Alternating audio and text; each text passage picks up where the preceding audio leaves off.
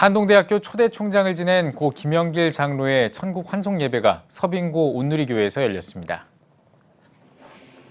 지난 5월에 췌장암으로 서울 아산의료원과 신촌 세브란스 병원에 입원해 치료를 받아왔던 김영길 장로가 지난 6월 30일 새벽 향년 81세로 하나님의 부르심을 받았습니다.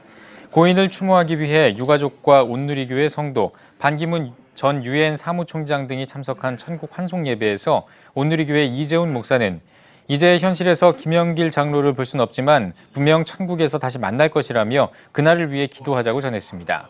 고 김영길 장로는 온누리 교회 초대 장로와 한동대 초대 총장을 역임했으며 미국 나사 루이스 연구소 연구원과 카이스트 재료공학과 교수, 한국창조과학회 초대 회장 등을 지냈습니다. 또 국민훈장 동백장과 올해의 과학자상, 제4회 한국기독교 학술상 등을 수상했습니다.